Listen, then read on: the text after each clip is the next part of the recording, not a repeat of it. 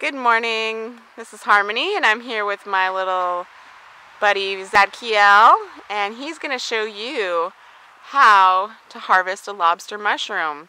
So we found some short-stemmed Russula mushrooms that have been taken over by the Hypomyces lactifluorum bacteria and turned into a lobster mushroom. Tzadkiel loves to harvest mushrooms, so he's going to show you how.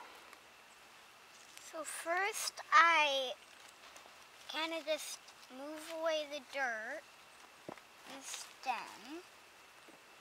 There's another. So if you can't hear him, he said first he moves away the dirt and debris around the stem. And then I take And then he the takes pocket his pocket knife. knife, I kind of just cut and through right it. along the stem there. You can see it was only attached by this small little area there.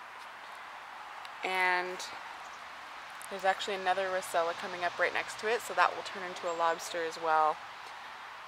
What an awesome find. Looks like we're going to have a good dinner tonight, huh, bud? Yeah, sure. Yeah. Yeah. Um. you show me what you found? Wow, good job. Look how big that is.